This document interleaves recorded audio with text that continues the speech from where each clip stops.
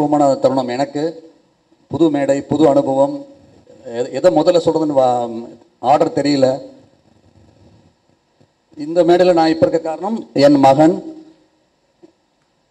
இந்த மீடியா பத்திரிக்கை எல்லாரும் தான் ப்ரெஸ் எல்லாரும் தான் எங்கள் குடும்பத்தை இத்தனைக்கும் ஆரம்பிச்சது தேங்க்யூ சார் என் மகன் நடிகனாக அறிமுகமாகிறான். நீங்கள் கண்டிப்பாக ஆதரவு கொடுத்து அவனுடைய நன்றி. நீ பேசுறியா?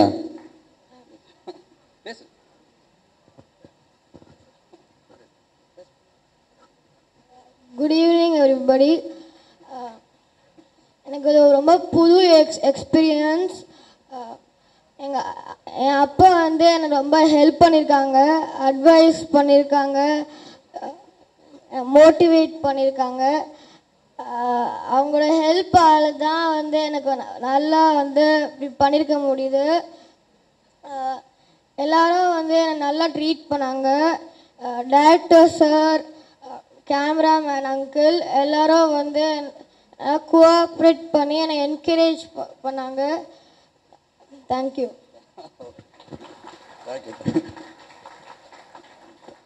தேங்க்யூ அவனை வந்து ரொம்ப எல்லாருடைய மகன் மாதிரி இந்த யூனிட்ல பார்த்துக்கிட்டாங்க. இந்த யூனிட்ல இருக்கிற ஒவ்வொருத்தருக்கும் ஒவ்வொரு லைட் மேன்லேருந்து மேக்கப் மேன் காஸ்டியூமர்லேருந்து எல்லாருக்கும் ரொம்ப ரொம்ப தனிப்பட்ட வணக்கங்கள் நன்றிகள்.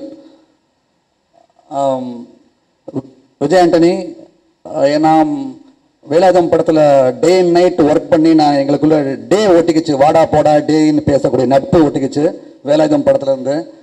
அப்புறம் அவன் வீட்டில் பல நாட்கள் விளையாண்ட பழகினவன். ஸோ திடீர்னு ஒரு நாள் விஜய் ஆண்டனி கூப்பிட்டு பையனை நடிக்க அனுப்புறியான்னு கேட்டாப்புல. ஒரு சில படங்களில் ஒரு சில காட்சிகள் வரும். எப்படின்னா அப்பா அம்மா ஏதோ ஹீரோக்கு அட்வைஸ் பண்ணுவாங்க. அந்த எதிரில் ஹீரோயின் போனோன்னா வேறு எதுவுமே காதில் கேட்காதுன்னு சொல்லிட்டு அந்த மாதிரி பேச ஆரம்பித்தான் விஜய் ஆண்டனி என்கிட்ட. இந்த மாதிரி படத்தை தான் பையன் நடிக்கணும். இசை இளையராஜான்னு ஒரு- வார்த்தையை சொன்ன உடனே அதுக்கப்புறம் எந்த ஒரு விஷயமும் காதில் கேட்கவே இல்லை. ஒரு பெரிய பிளஸ்டு ஒரு அனுபவமாக தெரிஞ்சு என் மகன் நடிக்கிற படத்துக்கு இசைஞானி அவர்கள் இசை இந்த ஒரு காரணமே எனக்கு வாழ்க்கை பூரா மறக்க முடியாத ஒரு அனுபவம். மற்ற கிடைச்ச எல்லாமே போனஸ் தான் அவனுக்கு. ரவி பிரணவ் வந்து நடித்த காட்சியை பேர் பிரணவ் மோகன். பிரணவ் நடித்த காட்சியை இசைஞானி பார்ப்பாரு. அந்த காட்சிகளுக்கு பின்னணி இசை சேர்ப்பாருன்னு நினைக்கும் போதே அந்த தருணமே எனக்கு மகிழ்வாக இருக்குது அதை தாண்டி இங்கே இருக்க மீண்டும் ஒவ்வொருத்தருமே இந்த யூனிட்டில் எல்லாரும் என் மகனை வந்து நல்லபடியாக பார்த்துக்கிட்டாங்க. மீண்டும் நன்றி நன்றி. எல்லாரும் நன்றிகள் நன்றி. இந்த படத்தில் வந்து அவருடைய பங்கு இந்த ரெண்டாயிரத்தி இருபதில் பேசப்படுகிற ஒரு பாடல்களாக நிச்சயமாக அது இருக்கும் என்பதை நீங்கள் இப்போ வெளியிட்ட அந்த ஆடியோ உங்களுக்கு நிரூபிக்கும். அதே மாதிரி நான் ரொம்ப கடமைப்பட்டிருக்கேன். இந்த படத்தில் வந்து நான் வந்து டிஸ்ட்ரிபியூட்டராக ஆனேன் ப்ரொடியூசர் எல்லாமே ஆனந்து கிட்டத்தட்ட பல தோல்விகளும் நான் கண்டு முடித்ததுக்கப்புறமா சினிமாவில் பொறுப்புகளை கூட கொஞ்சம் உதறிட்டு நான் பாட்டில் ஏன்னா என் பிள்ளைங்க வளர்ந்ததுக்கப்புறம் என் வாழ்க்கையை பார்க்கணும் அப்படின்னு நான் திரும்பும்போது திரு. விஜய் ஆண்டனி அவர்கள் இந்த படத்தின் கதாநாயகன் என்னை ரொம்ப கட்டாயப்படுத்தி தான் ப்ரொடியூசர் ஆக்கினார். அதான் உண்மை. சார் நீங்கள் பண்ண முடியும். நீங்கள் பண்ணுங்கள் நான் கூட இருக்கேன். நான் கூட இருக்கேனே. இன்னி இந்த நிமிஷம் வரைக்கும் நான் ஏன்னா அவரோட நல்லா சண்டை போடுவேன் பேசுவேன் எல்லாம் இருக்கும் ஆனால் ஆத்மார்த்தமாக என் கூட இருந்து எனக்கு சப்போர்ட் பண்ணி இன்னை வரைக்கும் எனக்கு பண்ணது ஹீரோ நான் நடிக்கிறேன் நான் டேட்டு கொடுக்குறேன் இமிடியேட்டாக ஷூட்டிங் ஸ்டார்ட் பண்ணுங்கன்றதை பண்ணுறேன். அதுக்கப்புறம் நான் வந்து பேரளவில் வந்து நான் தவிர ஆனால் ஃபைனான்ஷியலாக நான் எப்படி பண்ணுவேன்றது எனக்கு தெரியல.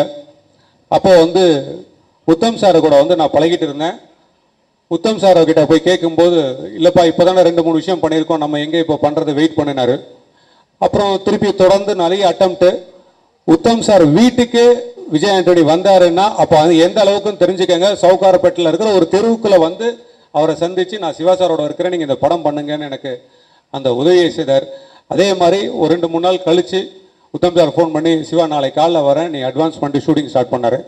இதில் வேற யாருக்கிட்டேயுமே நான் ஃபைனான்ஸ் வாங்கலை வேற எதுவுமே வாங்கலை. முழு படத்துக்கும் அவர் எனக்கு துணையாக இருந்து பண்ணேன் அவருக்கு என்னுடைய குடும்பத்து சார்பாகவும் உங்கள் எல்லோரும் சார்பாகவும் என் மனமார்ந்த நன்றியை தெரிவித்துக் கொள்கிறேன். அவரும் ஒரு கண்டிப்பான பிரின்சிபல் தான். எதாவது கேட்டாலும் இதை பண்ணியா அதை பண்ணியா இருப்பார். விஜய் ஆண்டனி மாதிரி ரெண்டு பேருமே எனக்கு வந்து இந்த வாழ்க்கையை இன்னைக்கு நான் தயாரிப்பாளர்னு என் மனைவியை நான் உருவாக்கி வச்சிருந்தாலும் இந்த இடத்துல நான் இன்னொருவருக்கு உதவி செய்ய முடியும் என்ற ஒரு நிலை இருந்தாலும் இதுக்கெல்லாம் மூல காரணம் இவர்கள் இருவரை என்பதை என மனப்பூர்வமாக நன்றி சொல்கிறேன். அதே மாதிரி வந்து இங்கே காலையில் இந்த ஃபங்க்ஷன் ஆரம்பிக்கிறதுக்கு முன்னாடி பத்திரிகையாளர்களுக்கும் சரி இங்கே இருக்கிற நண்பர்களுக்கும் சரியும் ஒரு ஹோட்டலில் வச்சு நான் என்ன வேணாலும் பண்ணியிருக்க முடியும் விருந்தினருக்கு ஆனால் உங்களுக்கு நிறைவு மாதிரி ஒரு விஷயம் இன்னைக்கு கிட்டத்தட்ட ஒரு மூவாயிரம் நாலாயிரம் அனாத ஆசிரமங்களுக்கு நாங்கள் அன்னதானம் கொடுத்துட்டு தான் இந்த நிகழ்ச்சியை ஆரம்பித்தோம் என்பதை நான் தெரிவித்துக் கொள்கிறேன். இதுதான் நல்லதுன்னு எனக்கு தோணுச்சு இதை நான் செஞ்சேன். அதே மாதிரி வந்து பொன்னர் அவர்களும் வானதி மேடம் அவர்களும் ராதாவி அண்ணனும் ரவி அண்ணனை வந்து நான் சொல்ல வேண்டியதே கிடையாது.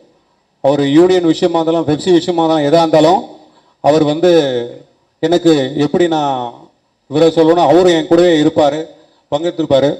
போன தனம் படத்தை அவரை வந்து நான் போ- போட முடியல.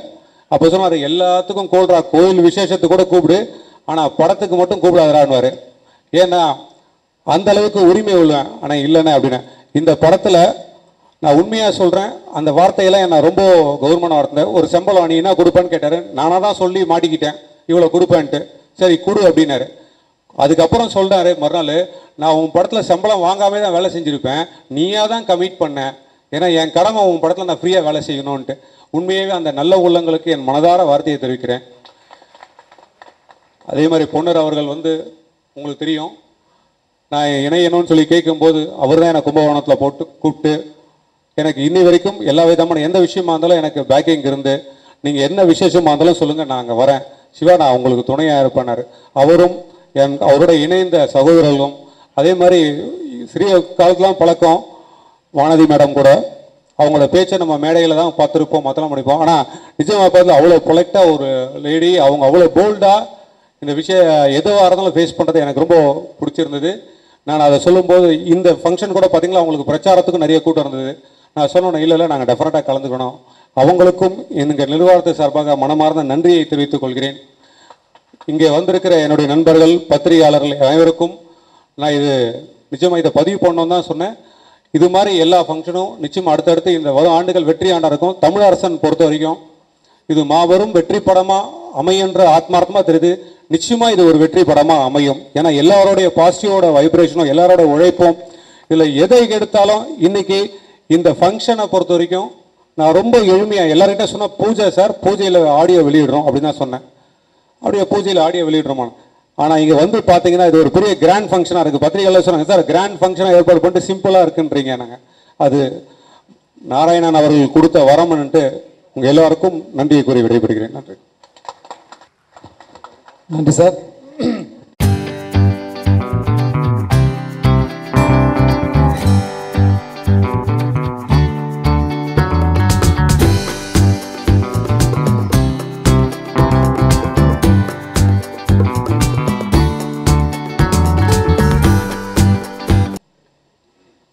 எங்கள் தமிழ் சினிமாவின் பிதாமகன் இயக்குனர் எம். எம். பாரதிராஜா அவர்களுக்கு என்னுடைய வணக்கம். வாழும் காமராஜராக நம்முடைய வாழ்ந்து கொண்டிருக்கும் எளிமை நேர்மையின் எடுத்துக்காட்டு என் மரியாதைக்குரிய ஐயா பொன் ராதாகிருஷ்ணன் அவர்களுக்கு என்னுடைய வணக்கம். அதேபோல் எங்கள் திரைத்துறையின் சார்பாக நிதியமைச்சரை சந்தித்து பேசுவதற்கு சரியான நேரம் ஒதுக்கி கொடுத்து எங்களுக்கு பெருவெல்லாம் புரிந்த அம்மா வானதி சீனிவாசன் அவர்களுக்கும் எங்களுடைய வணக்கம். நீங்கள் இருவரும் இந்த மேடையில் இருக்கும் பொழுது அண்ணன் ராதாரவியும் இருக்கும் பொழுது திரைத்துறை சார்பாக ஒரு கோரிக்கை எங்களுடைய இதில் வைக்க விரும்புகிறேன். அம்மா வானதி சீனிவாசன் அவர்களுடைய முயற்சியால் ஒரு சந்திப்பெல்லாம் நடந்தது. அதற்கான தீர்வு ஒன்று எங்களுக்கு இன்னும் கிடைக்கவில்லை.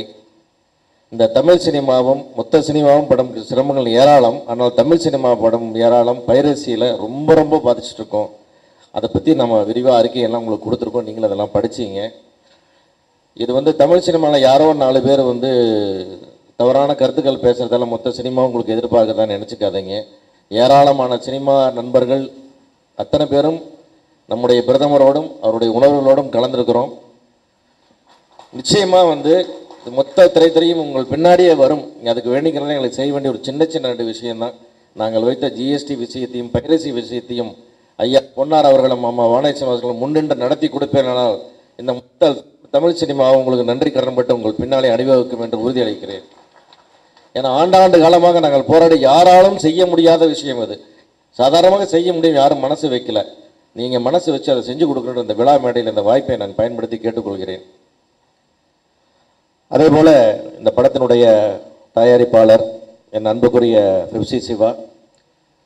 அவர் தமிழ் சினிமாவில் கிட்டத்தட்ட ஒரு இருபத்தி முப்பது வருஷமாக பார்க்காத வேலைகள் இல்லை படாத கஷ்டங்கள் இல்லை.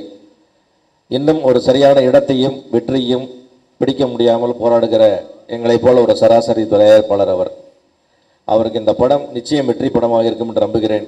ஏன்னா விஜய் ஆண்டனி வந்து அந்த படத்தை ஃபுல்லாக பார்த்துட்டு என்கிட்ட ரொம்ப நம்பிக்கையாக சொன்னார். நிச்சயமாக அந்த படம் நல்லா வரும். அவருக்கு இந்த படம் எல்லா விதத்திலும் வெற்றிகரமாகவும் லாபகரமாக இருக்கும்னு என்னுடைய நான் என்னுடைய வாழ்த்துக்களை தெரிவிச்சுக்கிறேன் அதே மாதிரி அந்த படத்தில் விஜய் ஆண்டனி சார் நான் மெயினாக நிறைய பேர் இருக்காங்க சுருக்கமாக முடிச்சுக்கிறேன். நான் வந்து எயிட்டிஸில் கோல்டன் சினிமாவில் படம் எடுக்க ஆரம்பித்து ஒரு தகரட்டன் சினிமா வரைக்கும் படம் எடுத்து வந்துட்டுருக்கேன்.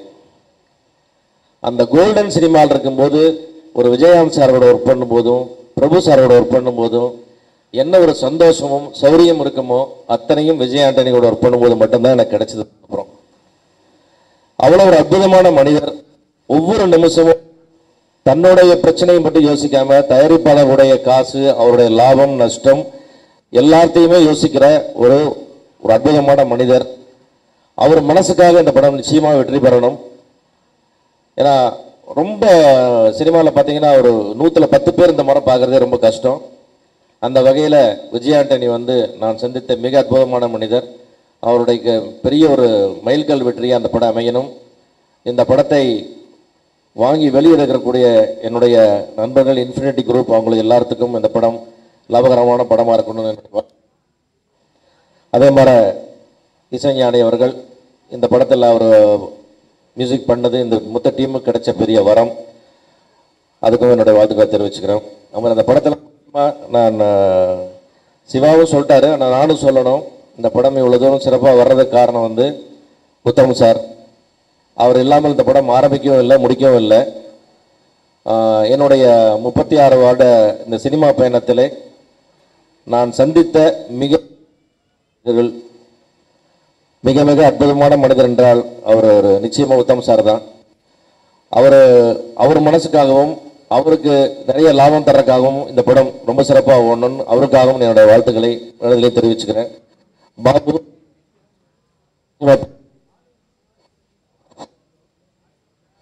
இயக்குனர் பாபு அவர்களுக்கு ஒரு நீண்ட நீண்ட வருட காத்திருப்புக்கு பிறகு வந்திருக்கும் இந்த படம் ஒரு வெற்றி படமாக இருக்க வேண்டும் என்று அவருக்கும் நம்முடைய ராஜாவின் மகன் மொத்த டீமுக்கும் என்னுடைய வாழ்த்துக்களை தெரிவிச்சுக்கிறேன். All the best everybody thank you நன்றி சார். இங்கே கூடியிருக்கும் என் குடும்பத்தை சேர்ந்தவர்கள இந்த தமிழரசின் படத்து விழாவிற்கு கூடிய தமிழரசன் விழாவிற்கு வருகை தந்து சிறப்பித்துக் கொண்டிருக்கும் பெருந்தலைவர் காமராஜருக்கு பிறகு ஒரு உன்னதமான தலைவர் என்றால் அது ஐயா பொன்னர் அவர்களைத்தான் சாரும். அவர் தான் என்னை இங்கெல்லாம் இழுத்துக்கிட்டு வந்தவர். அவருக்கும் நல்ல ஒரு அறிவாளியாக பேசக்கூடியவர் என்றால் ஏனென்றால் இஸ் இஸ் அன் அட்வொகேட் நிச்சயமாக சொல்ல முடியாது. தமிழ்நாட்டின் பிஜேபியின் தலைவராக கூட ஆகலாம். அந்த அளவுக்கு ஒரு தகுதி படைத்த வானதி ஸ்ரீனிவாசன் நான் இப்போ நான் பேசும்போது கூட சரி.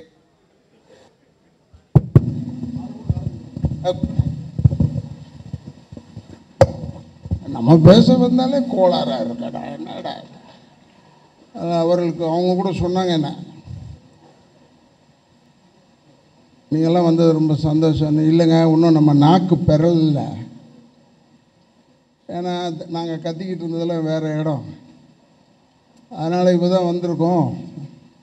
நாக்கு பெறலமா பெறலாமல் ஏதாவது ஒன்று வந்துருச்சுன்னா தப்பாக எடுத்துக்காதீங்கன்னு சொல்லியிருக்கேன் எதுக்காக சொல்கிறோம்னா ஏன்னா எங்கள் குடும்பத்தை பற்றி உங்களுக்கு தெரியும். நாங்கள் இந்த இந்த பயங்கையும் இதெல்லாம் ஒன்றுமே கிடையாது.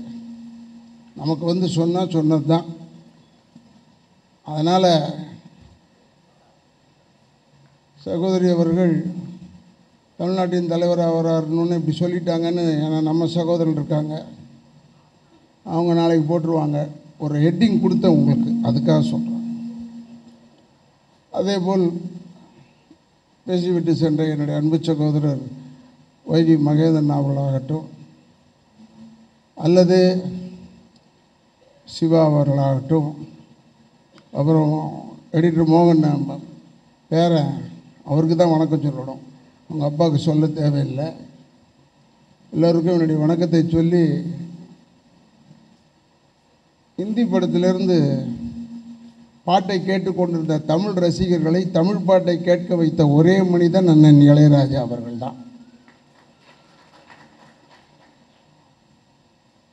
எதுக்காக சொல்கிறேன்னா அவர் வந்ததுக்கப்புறம் தான் உண்மையை ஒத்துக்கணும் தானே அவர் உண்மையிலே இப்போ அவரை பார்த்து வந்தவங்க நிறைய பேர் இருக்காங்க சினிமாவில் இருந்தாலும் அந்த ராஜா அண்ணன் மாதிரி யாராலையும் முடியாது. ஏன்னா எனக்கு அவ்வளோவா நான் பழைய பாட்டை ரசிச்சுக்கிட்டு இருந்தேன் விஸ்வநாதன் ராமூர்த்தி அவர்கள் பாட்டை தான் ரசிப்பேன். ஏன்னா அந்த படமெல்லாம் பார்க்கறதுனால. ஆனால் உண்மையை சொல்கிறேன் ராஜா அண்ணன் படம் பாட்டுன்னா எனக்கு ரொம்ப பிடிக்கும். பட் அவர் தான் என்னை கெடுத்தவர். என்னென்னா ஜெயசுதாஸ் அவர்களை பார்த்து பேசிக்கிட்டு இருக்கும்போது சொல்லுவார் நான் என்னுடைய எல்லா வால்யூம்லேயும் உன் பாட்டு தான் போடுறேன்னு. என்னையா என் பாட்டுன்னா பூவே செம்பூவே போடுவேன்னு. அதுக்கு மியூசிக் டைரக்டர் இளையராஜா அண்ணன் இவர் நல்ல வாசி ஈச்சி நம்மளை கெடுத்துட்டார் அதில். அதுக்கப்புறமா என்னை ஹீரோவை ஆக்கவே மாட்டேன்னு தமிழ் சினிமாவில் ஒத்த காலில் நின்றுட்டாங்க எல்லோரும். ஹீரோ மாதிரி இருக்கிறேன்னு சொல்கிறாங்களே ஒழிய கூப்பிட மாட்டாங்க. வில்லனுக்கு தான் கூப்பிடுவாங்க. ஏன்னா நம்ம தான் நல்லா கெடுக்கிறோம் கெடுக்கிறோன்னு அவங்களுக்கு ஒரு அபிப்பிராயம். அதை விட்டுருங்க. அதே போல் அண்ணன் இளையராஜா அவர்கள் இன்னொரு பெரிய பெருமை எனக்கு அவருக்கு என்னென்னா அவர் அதிகமாக சிரிக்க வச்சவன் நான் தான். அவர் சிரிக்கவே மாட்டார். அவரும் முன்னாடி ஒரு பிரதமர் இருந்தார்ல அவரும் இவரும் ஒன்று தான் இருப்பாங்க. எவ்வளோ நல்ல விஷயமா வந்தாலும். அவரை சிரிக்க வச்சது எங்கன்னா அண்ணன் பாரதிராஜா அவங்க தம்பி கல்யாணத்துக்கு நான் போயிருந்தோம். அவருடைய மகன் கல்யாணத்துக்கு போயிருந்தேன் கேரளாவில் பக்கத்தில் நான் உட்காந்துக்கிட்டு அண்ணன்கிட்ட பேச பேச சுவாரஸ்யமாக சிரிச்சுக்கிட்டு இருந்தார். அதை குமுதத்தில் எடுத்து போட்டுட்டான். இப்படி சிரித்து கொண்டிருக்கும் இளையராஜா யார் காரணம் என்று தெரிகிறதான்னு என்ன போட்டாங்க? அதனால் அவ்வளோ பெரிய ஒற்றுமை எங்களுக்கு. நாங்களாம் ஒரு குடும்ப நண்பர்கள் மாதிரி. என் படத்தில் நான் எடுத்த நாலாவது படத்தில் இவர் தான் இசைன்னு கூப்பிட்டோன்னே அப்போ எவ்வளோ லட்சம் வாங்கியிருப்பாருன்னு எனக்கு தெரியாது. வெறும் இருபத்தையாயிரம் ரூபாய்க்கு எங்களை கூப்பிட்டு வாசிக்க வச்சார். வெறும் இருபத்தையாயிரம் ரூபாய் ராதா ரவிக்காக. அதனால் அந்த நன்றியெல்லாம் மறக்க மாட்டேன். அதே மாதிரி எங்களுடைய இயக்குனர் இமயம் இருக்கார் பாரதிராஜா ஐயா அவர்கள். அவர்கிட்ட எப்பவுமே கேட்டு கேட்டு அழுத்து போச்சு எனக்கு. ஏன்னா இப்போ அவர் நம்ம லைனுக்கு வந்துட்டார். முதல்ல அவரை கேட்டுக்கிட்டு இருந்தேன். ஏன்னா டைரக்டராக இருந்ததுனால வாய்ப்பு கேட்டுக்கிட்டே இருப்பேன். இப்போ பார்த்தா அவர் நடிகராக வந்துட்டார் அதனால் நம்ம அவர்கிட்ட இனிமேல் கேட்குறதில்ல. இப்போ விட்டுட்டேன் இப்போ அவரை ஃப்ரீயாக அதனால் எங்கள் இயக்குனர் பாரதிராஜா அண்ணன் அண்ணன் பாரதிராஜா அவர்கள் எப்பயுமே அவர் பாரதிராஜா தான். ஸ்ட்ராங்கான மேன் அதே மாதிரி என்னுடைய அன்பு சகோதரர் சுரேஷ் காமாட்சி. எனக்கு நல்ல நண்பர். பாவம் அவரும் இந்த படத்தில் அப்படியே சினிமாலெல்லாம் நல்லா பெரிய படங்கள் உயரமான படங்கள்லாம் எடுத்து இன்னும் பெரிய அளவிலே வளர்வார். அதை போல் ஒரு பெரிய அன்பு சகோதரர். இதுக்கெல்லாம் முத்தாய்ப்பு வைப்பதை போல் இந்த படத்தினுடைய ஹீரோவை சொல்லியே ஆகணும். விஜய் ஆண்டனி. நல்ல நண்பர் தான். அவர் நிறைய படம் அவருக்கு ஏற்ற மாதிரியே கதையை வச்சுக்கிட்டே இருப்பார். கொஞ்சம் நடுவில் வெளியே போனார் மாட்டிக்குவார். அவர் அதெல்லாம் செய்யக்கூடாது. அவர் இதையே தான் செய்யணும். நானில் எப்படி வந்தாரோ பிச்சைக்காரனில் எப்படி இருந்தாரோ அப்படி இருந்தால் தான் அவருக்கு. அதுதான் இந்த தமிழரசன். நான் சொல்லலை அவரே தான் சொன்னார். கதையை கேட்டுட்டு நடிக்கிறோன்னு எல்லாரும் சொல்கிறாங்கல்ல பொய். கதையை உண்மையிலேயே கேட்டு கரெக்டாக இருக்கான்னு தெரிஞ்சுக்கிட்டு நடிக்கிற ஒரே ஹீரோ வந்து விஜய் ஆண்டனி தான். ஒரு பழமொழியே பொய்யாக்கிட்டார். தெரிஞ்ச தொழிலை விட்டவனும் கேட்டான் தெரியாத தொழிலை தொட்டவனும் கேட்டான். இவர் மியூசிக் டைரக்டர் நடிகனை வந்து பெரிய சக்ஸஸ் ஆகிட்டார் அப்போ அந்த பழமொழியை பொய்யாக்கக்கூடிய அன்பு சகோதரர் விஜய் ஆண்டனி அவர்கள் எல்லாம் ஒரு அற்புதமான ஒரு இந்த இடத்துல வச்சுருக்காங்க. இது உண்மையிலே நல்ல இடம். இதை வாழ்த்தக்கூடிய ஒரு இடத்தில் வைத்திருக்கிறார்கள். ஒரே ஒரு சின்ன விஷயம் என்னென்னா என் அண்ணன் பாரதி ராஜா அவர்கள் இருக்காங்க அவருக்கு தெரியும். நான் மலேசியா போயிருந்தேன். தலைவர் அவர்களுக்கு சொல்லிக் கொள்கிறேன். மலேசியா போயிருந்தேன். ஒரு மலேசியாக்காரனுக்கு படம் எடுக்க போயிருந்தேன். தமிழ் படம். அப்போ நான் உள்ளே போகும்போது இமிக்ரேஷனில் மொல்லமாக கேட்டான் எதுக்கு வந்திருக்கேன்னு? டூரிஸ்டான்னு கேட்டான். ஆமான்னு சொல்லிட்டேன். ரெண்டு நாளில் வந்து என்னை உள்ளே பிடிச்சிட்டாங்க நீ வந்து இங்கே ஒர்க் பண்ண தானே வந்த? நடிக்க தானே வந்த? ஒர்க் பர்மிட் ஏன்டா வாங்கலைன்னு. திருப்பி அனுப்பிச்சிட்டான் என்ன. அப்புறம் நான் ஒர்க் பர்மிட் வாங்கிட்டு போனேன். அப்போ தான் நினச்சேன் நம்மளை மட்டும் இப்படி துன்புறுத்துறாங்களே இவங்களுக்கெல்லாம் ஒரு சட்டம் வராதான்னா இப்போ தான் வந்திருக்கு சட்டம். அதுக்காக சொல்கிறேன் அதில் பெரிய விஷயமே என்னென்னா அங்கே இருந்து மூணு வருஷம்தான் வேலை செய்யணும். அதுக்கு மேலே நீ செய்ய முடியாது. ஓடி போடான்னு சொல்லி துரத்துற பய இங்கே வந்து கத்துறான். இந்த சட்டம் கொண்டு வந்தது தப்புன்னு. அங்கேருந்து துரத்திட்டாங்க இதெல்லாம் நான் ஏன் சொல்கிறேன்னா என் வீட்டில் வாடகையில் இருக்கிறவங்க வாடகை கொடுக்கலன்னா நான் தான் சண்டை போட்டு துரத்தி விடுவேன். புரியுதா? எதிர் வீட்டுக்காரனுக்கு வேலையே இல்லை தலையிடுறதுக்கு. நான் இப்போவும் சொல்கிறேன் இல்லை இல்லை இன்னும் நான் இறங்கலை. இது சும்மா ஒரு பட பூஜைக்கு வந்த நமக்கு எதுக்கு தொல்லைன்னு சும்மா அப்படி ஓட ஓட விட்டேன். நாளைக்கு திட்ட ஆரம்பிப்பானுங்க என்ன? இருந்தாலும் நமக்கு திட்டு பற்றியெல்லாம் எனக்கு கவலை இல்லை. ஏன் நான் சொல்கிறேன்னா உண்மையை உண்மையை ஏற்றுக்கணும் இங்கே இருக்கிறவனை எவனையாவது வெளியே போக சொன்னாங்களா? இல்லை இல்லை ஒத்துக்கிட்டு இருக்கடான்னு சொல்லணும். அதுக்காக சொல்கிறேன் சும்மா இந்த எலெக்ஷன் சனியை வந்து தொலைஞ்சிருச்சு இந்த நேரத்தில். அதனால் நான் வீரன் நீ வீரன். எவன் கையெழுத்து போட்டானோ அவன்லாம் முன்னாடி நிற்கிறான் ஐயா. இந்த சட்டத்துக்கு எவன் முதல்ல கையெழுத்து போட்டாங்களோ அவங்க முன்னாடி நிற்கிறாங்க இதுக்கு கொடியை பிடிச்சிக்கிட்டு. ஒரு வயலில் கேட்குறதுக்கு நாதியற்ற தமிழ்நாடு. அதனால் இது வந்து ஒரு நாதி உள்ள தமிழ்நாடாக மாற வேண்டுமென்றால் நல்லவர்கள் வ வர வேண்டும். வல்லவர்கள் வர வேண்டும். இதை சொன்ன உடனே இவர் என்ன கேசட் வெளியீட்டு விழாவுக்கு வந்து இப்படி வந்து ஏதோ அரசியல் பிரச்சாரம் பண்ணுறாருன்றதுக்கு சொல்லக்கூடாது. நான் சொல்லவே தேவையில்லை. படித்தவனுக்கு தெரியும். பாமரனுக்கும் தெரிந்த அளவுக்கு இருக்கிறது. அதனால் சொல்கிறேன் ஏன்னா எதுக்காக உங்கள்கிட்டலாம் சொல்கிறேன்னா நல்லதை எடுத்துக்கொள்ளுங்கள். அதுதான் இந்த படம். தமிழ் அரசுன்னு ஒரு நல்ல படம் ஒரு கருத்து சொல்லியிருக்கிற படம். இந்த படத்தை ஏற்றுக்கொள்ளுங்கள்ன்றதுக்காக இதை சொல்கிறேன் நான் அரசியல் பேசவில்லை. புரியுதா? நீ அப்படி எடுத்துக்கிட்டால் நான் என்ன செய்கிறது சரி அப்படி தான் பேசுகிறேன்னு சொல்லிடுவேன். நான் சொல்ல வந்தது என்னென்னா நல்லதை எடுத்துக்கொள்ளும் நேரம் இதெல்லாம். இந்த தமிழரசன் நான் ஏன்னா நான் ஒரு போலீஸ் ஆஃபீஸராக பண்ணியிருக்கேன். அதில் அந்த தம்பிக்காக ஹீரோ அவர்கள் அந்த போராடுற சீனெல்லாம் பார்த்து ரொம்ப பிரமாதமான ஒரு அற்புதமான படம். இந்த படத்தை தயவுசெய்து தேட்டரில் வந்து பாருங்கள் இது எத்தனை வாட்டி தான் கெஞ்சிறதோ உங்களை. தேட்டரில் வந்து பார்த்து தொலைங்க. அவ்வளோதான் சொல்ல முடியும். வேறு என்ன செய்ய முடியும் உங்களை? என்று சொல்லி தயவுசெய்து இளைஞர்களுக்கு சொல்லிக்கொள்கிறேன் தாய் தந்தையரை முதியோர் இல்லத்தில் சேர்த்து விடாதீர்கள். தாய் தந்தையரை கடைசி வரை வைத்து காப்பாற்றுங்கள். அதுதான் வெற்றி வரும் என்று சொல்லி நல்லதே நினைப்போம் வெற்றி வரும் என்று சொல்லி விடைபெறுகிறேன். நன்றி வணக்கம்.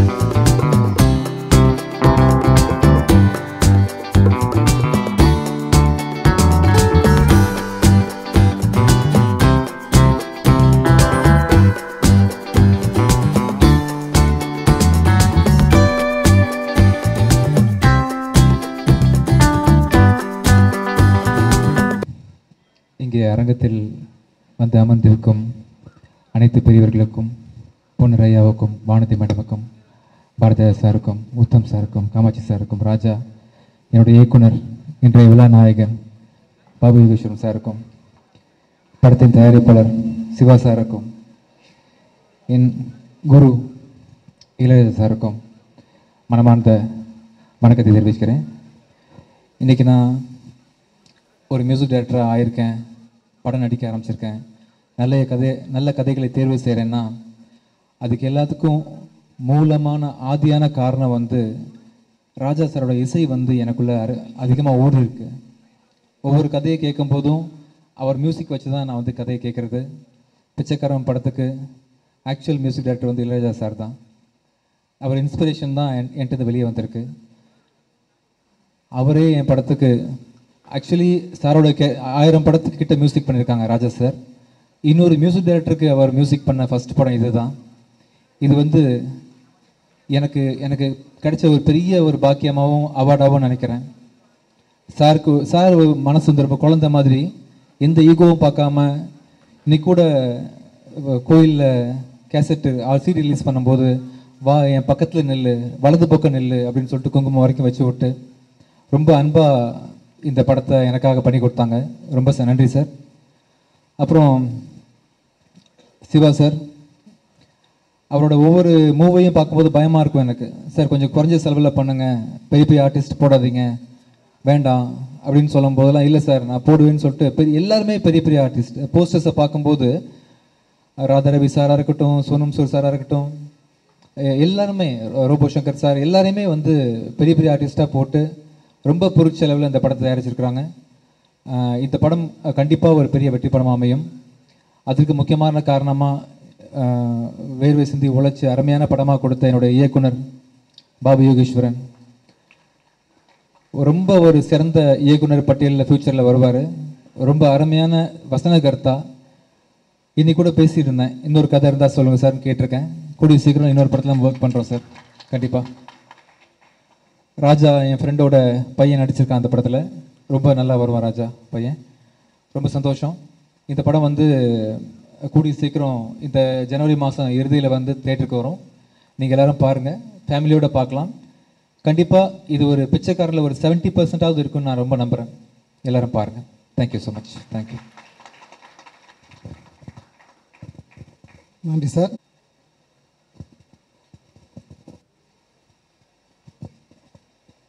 மேடையில் அமர்ந்திருக்கக்கூடிய அத்தனை பெரியவர்களுக்கும் இங்கு வருகை புரிந்திருக்கக்கூடிய சகோதர சகோதரிகளுக்கும் என்னுடைய பணிவான வணக்கம்.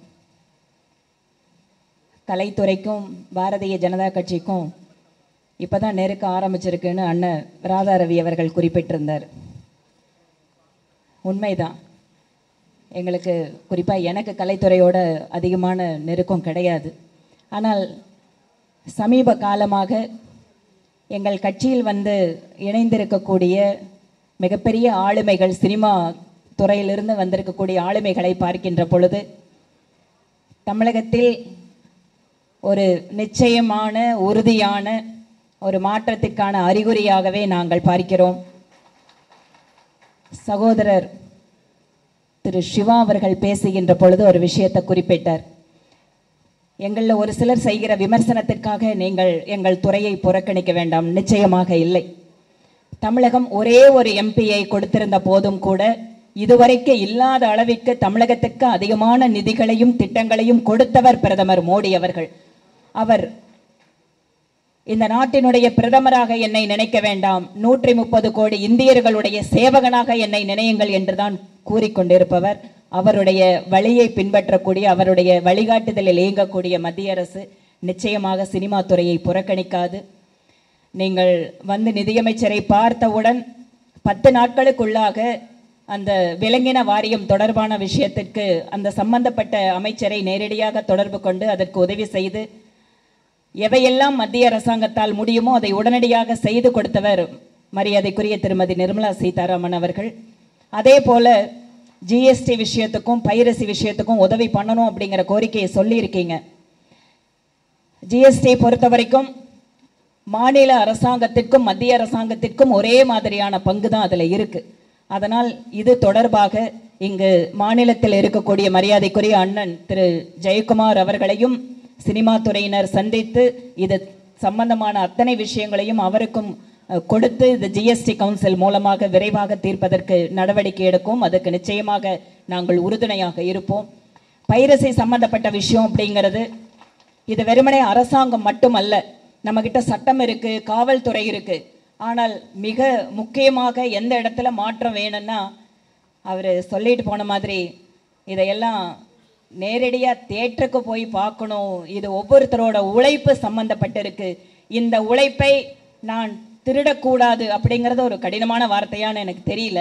ஆனாலும் இந்த உழைப்பிற்கு நான் மரியாதை கொடுக்க வேண்டும் என்று மக்கள் நினைக்கின்ற பொழுதுதான் இந்த பைரசி விஷயத்தில் தீர்வு காண முடியும். அதனால் எவையெல்லாம் மக்கள் மனதில் மாற்றத்தை உருவாக்க வேண்டுமோ அதை செய்வதற்கு மற்றவங்களுக்கும் அந்த பங்கு இருக்குது பட் சினிமா துறைக்கு அதை விட அதிகமான பங்கு இருக்குது ஏனென்றால் நாங்களெல்லாம் மேடை போட்டு மணிக்கணக்காக பேசி புரிய வைக்க முடியாத ஒரு விஷயத்தை ஒரு பவர்ஃபுல்லான சினிமா மீடியத்தில் ஒரு வசனத்தில் மக்களை சென்று சேர்க்கக்கூடிய திறமை உங்களுக்கு இருக்கு. அதனால் இதில் மாற்றத்திற்கு மனமாற்றத்திற்கு சினிமா துறையும் சேர்ந்து முயற்சிக்க வேண்டும் என கேட்டுக்கொண்டு எங்கள் ராஜாக்கள் எல்லாம் இருக்கின்ற மேடை இது. அவர்களை எல்லாம் சின்ன வயசில் திரையில் பார்த்து வந்தவங்க நாங்கள் அதனால் இதில் மிக முக்கியமான நபர்கள் கடுமையான உழைப்பை கொடுத்துருக்காங்க. அவர்களுடைய திறமைக்கு ஒரு மிகப்பெரிய ஒரு அங்கீகாரமாக மக்கள் இந்த படத்தை வெற்றி படமாக மாற்ற வேண்டும். அன்பு சகோதரர் பெப்சி சிவா அவர்கள் நல்ல தலைமை பண்பு கொண்டவர். தலைமை பண்பு என்னன்னா தனக்கு பின்னால் இருக்கிறவங்களை ஏமாத்தாம கடைசி வரைக்கும் உறுதியாக நிற்கிறது அந்த வகையில் அண்ணன் சிவா அவர்கள் அவருடைய துணைவியார் தயாரிப்பாளர் பணியை ஏற்றுட்டு திறம்பட நிர்வகிக்கிறதாக சொன்னார். ஆக பெண்களை முன்னிறுத்தி செய்கின்ற எந்த காரியமும் நிச்சயமாக சோடை போவதில்லை. வெற்றி பெறும். இந்த திரைப்படத்தில் உழைத்த தன்னுடைய பங்கினை கொடுத்த அது ஹீரோவாக இருந்தாலும் சரி இந்த படத்திற்கு ஏதாவது ஒரு வகையில் உதவி செய்த அத்தனை ஊழியர்களுக்கும் இந்த படத்தில் ஈடுபட்டு இருக்கக்கூடிய தன்னுடைய பங்கினை கொடுத்த ஒவ்வொரு நபரும் தன்னுடைய வாழ்க்கையில் அடுத்த நிலைக்கு செல்வதற்கு இறைவன் அனந்த பத்மநாப சுவாமி அவர்களுடைய துணை அருள் இருக்க வேண்டும் என கேட்டு பிரார்த்தித்து கொண்டு மரியாதைக்குரிய திரு பொன் ராதாகிருஷ்ணன் அவர்கள் இங்கே வந்திருக்கிறார். கட்சியில் நாங்கள்லாம் ஒரு விஷயத்த சொல்லுவோம். எந்த ஒரு நல்ல காரியமாக இருந்தாலும் நீங்கள் இதை ஆரம்பிச்சு வைங்க அப்படிங்கிற பழக்கம் உண்டு கட்சியில். அந்த மாதிரி இந்த படம் வெற்றி படமாவதற்கு அவரும் தன்னுடைய வாழ்த்துக்களை கூற வந்திருக்கிறார். நிச்சயம் இந்த படம் தமிழகத்திற்கு ஒரு மிகச்சிறந்த படமாக அமைய வேண்டும். அதே போல இது அதிகமான மக்கள் பார்க்கின்ற படம் என்பதோடு சிறந்த கருத்துக்களையும் கொண்டு சென்று சேர்க்கின்ற படமாக இருக்கட்டும் என கூறி என்னுடைய வணக்கத்தை மீண்டும் தெரிவித்துக் கொண்டு விடைபெறுகிறேன். நன்றி வணக்கம்.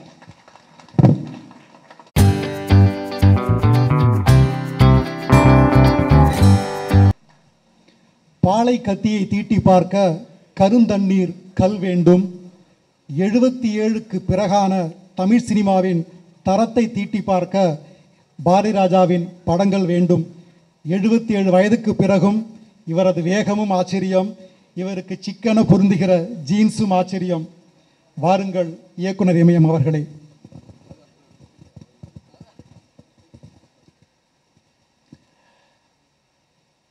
என் இனிய தமிழ் மக்களே?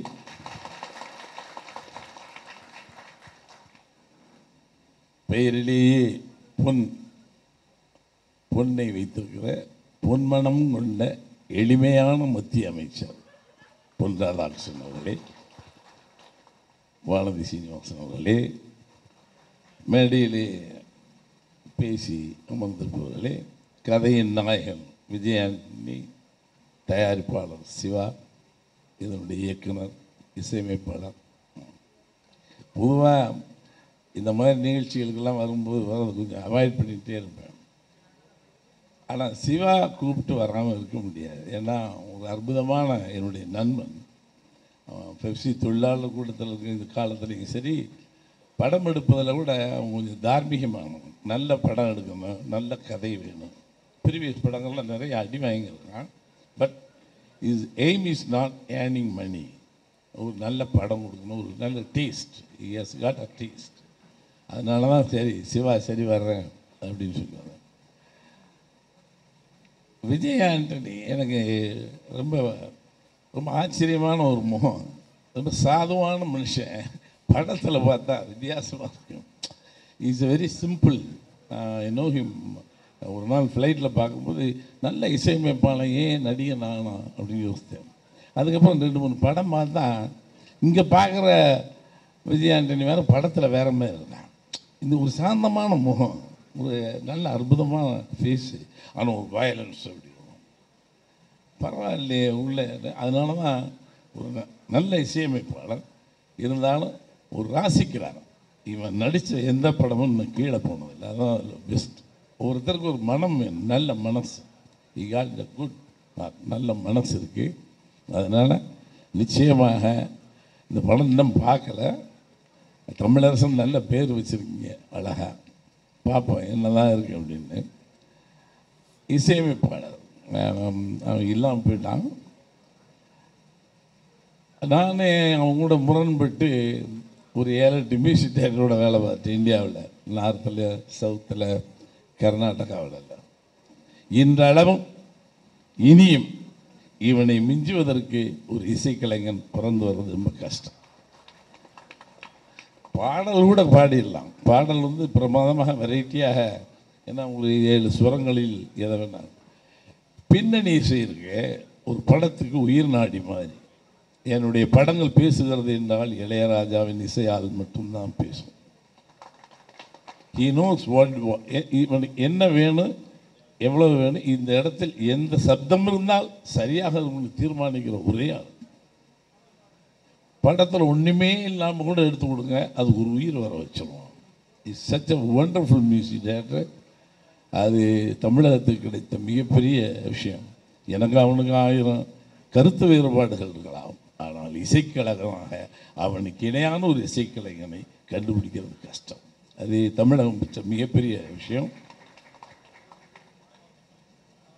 அதை நீங்கள் வெறும் பாடல் மட்டும் கேட்கக்கூடாது. அவனுடைய படங்களுடைய பேசாத படத்தையும் பேச வச்சிருவோம்.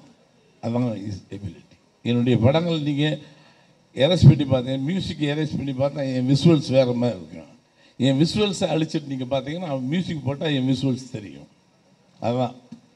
இஸ் ஒண்டர்ஃபுல் மியூசிக் டைரக்டர் நிச்சயமாக ஒரு விஷயத்தை சாதாரணமாக எடுத்துக்க மாட்டோம் இந்த படத்தை அவன் இசைத்திருக்கின்ற ஆனதில்லை மிகச் சிறந்த படமாக இருக்கும். இதை பாபு யோகேஸ்வரன் இன்னும் பார்க்கல யார்? நீங்கள் வாழ்த்துக்கள். ஏன்னா கம்மிங் அப் டேரக்டர்ஸ் நவடேஸ் இன்னும் ரொம்ப பிரமாதமாக வர்றாங்க பசங்க. குறிப்பிட்டு சொன்னால் ஒரு பத்து பதினஞ்சு பையன் பையங்க அன்பிலீவபிள் அது யார் கம்மிங் அதில் நீ ஒரு ஆளாக இருக்கணும்னு நினைக்கிறேன். இல்லைன்னா சிவனை தேர்ந்தெடுக்க வாய்ப்பு இல்லை. என்ன படங்கள் நல்லா கொடுக்குறீங்க. நான் ஒரே ஒரு வேண்டுகோள் தான் சொல்லுவேன் எல்லாருக்கும். இந்த வயலன்ஸை கொஞ்சம் குறைச்சி. சினிமாக்கள் டெக்னிக்கலாக ரொம்ப அட்வான்ஸாக இருக்குது ஹாலிவுட் படம் பார்க்குறோம் ஃப்ரெஞ்ச் ஃபிலிம் பார்க்குறோம் எல்லாம் பார்க்குறோம். நம்மகிட்ட எவ்வளவோ கலாச்சார பண்பாடுகள் இருக்குது அதை சொல்லிட்டு வியாபார ரீதியாக ஏதோ சொல்லலாமே இந்த வயலன்ஸ் அப்படிங்கிறது மனிதனை வக்கரத்தில் கொண்டு விடும் சின்ன பசங்கள்லாம் செய்கின்ற தப்புகள்லாம் சும்மா நான் சொல்ல சினிமாவில் சினிமா பாதிக்குது. பசங்களை. அதனால் it's my request all my colleagues please reduce your violence வயலன்ஸை கொஞ்சம் குறைங்க. எவ்வளோ விஷயங்கள் இருக்குது சொல்கிறதுக்கு அதனால் ஒரு நல்ல படம் சிவா ரொம்ப உன்னுடைய மனசுக்கு இந்த படம் மிகப்பெரிய வெற்றி அடையும். வாழ்த்துக்கள் நன்றி. நீங்கள் தான் தொகுத்து வழங்குறீங்க ஒரு விஷயத்தை தெரிஞ்சுங்க இருபது பேர் உட்காந்துருக்கோம் இந்த இருபது பேர் பேச வேண்டியதை நீங்களே பேசி முடித்தா அதுக்கப்புறம் இந்த இருபது பேரும் டயர்டாயிருக்கும் தொகுப்பாளர் என்பவன் ரொம்ப அற்புதம். நான் இல்லைன்னு சொல்லலை. நாங்கள் பேச வேண்டியதான் நீங்களே பேசி முடிச்சு நாங்கள் எந்திரிச்சு போயிடலாம். ஏன்னா ஒவ்வொருக்கையும் நீங்கள் பாராட்டிடுறீங்க. இருபது பேருடைய பேச்சையும் நீங்கள் பேசுகிறீங்க தொகுப்பாளர் இவ்வளோதான் ஒரு வரி ரெண்டு வரி. ஏன்னா சாரி பிறர்க்கு அர்ப்பணிப்பதையும் அரும்பணி செய்வதையுமே ஆண்டவனிடம் வரமாய் வேண்டுகின்ற அலந்தங்கரை கிராமத்து வெள்ளந்திக்காரர் வெள்ளுடை வீரர் மேனால் மத்திய அமைச்சர் மக்கள் தலைவர் திரு பொன்னார் அவர்களை பேரன்புடன் வரவேற்கிறோம்.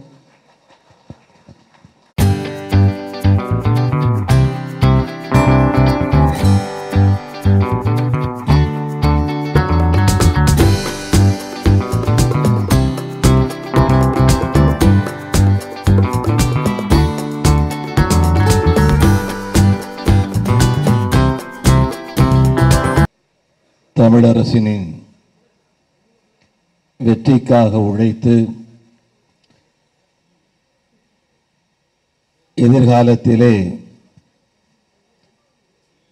இதற்கு நிகராக ஒரு திரைப்படம் எடுக்கப்படவில்லை என்று சொல்லக்கூடிய அளவுக்கு சாதனைகள் நிகழ்த்த வேண்டும் என்று வாழ்த்தி அமர்ந்திருக்கின்ற மேடையில் இருக்கின்ற அனைத்து பெரியவர்களுக்கும் வரை தந்திருக்கின்ற பெரியவர்களுக்கும் தாய்மார்களுக்கும் ஊடக நண்பர்களுக்கும் என்னுடைய வணக்கத்தை தெரிவித்துக் கொள்கின்றேன். மிக குறிப்பாக மரியாதைக்குரிய அண்ணன் பாரதி ராஜா அவர்கள்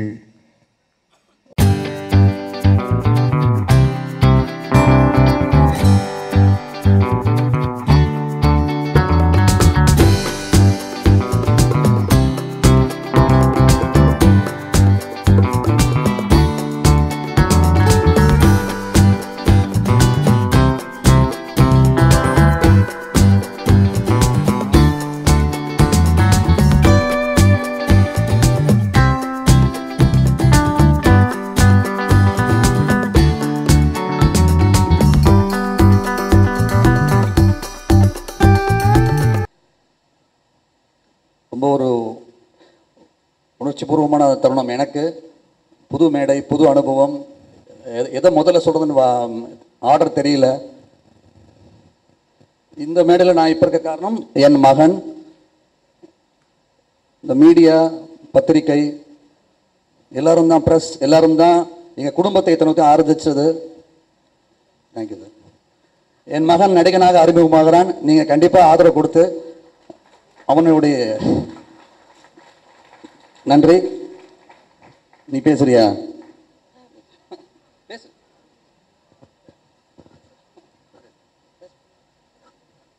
குட் ஈவினிங் எவ்ரிபடி எனக்கு இது ரொம்ப புது எக்ஸ் எக்ஸ்பீரியன்ஸ் எங்கள் என் அப்பா வந்து எனக்கு ரொம்ப ஹெல்ப் பண்ணியிருக்காங்க அட்வைஸ் பண்ணியிருக்காங்க மோட்டிவேட் பண்ணியிருக்காங்க அஹ், அவங்களோட ஹெல்ப்பால் தான் வந்து எனக்கு நல்லா வந்து இப்படி பண்ணியிருக்க முடியுது.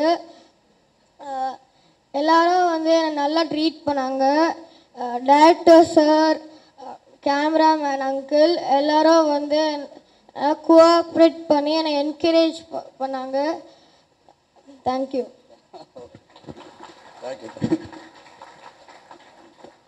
தேங்க்யூ